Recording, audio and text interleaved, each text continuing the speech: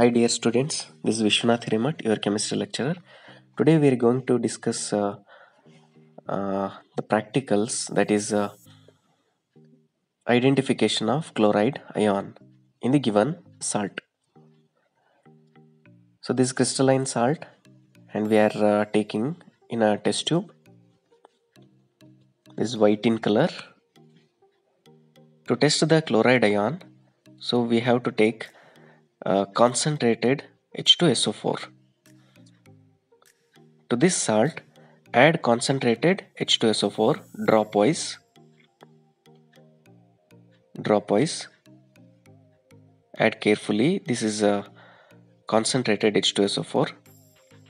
So after addition, you can get a colorless uh, white fumes, colorless fumes you can observe in the test tube. To check it, uh, take a glass rod and dip into the NH4OH solution and take it to the mouth of the test tube. So you can observe the dense white fumes there. After checking with a glass rod dipped in a NH4OH ammonium hydroxide solution.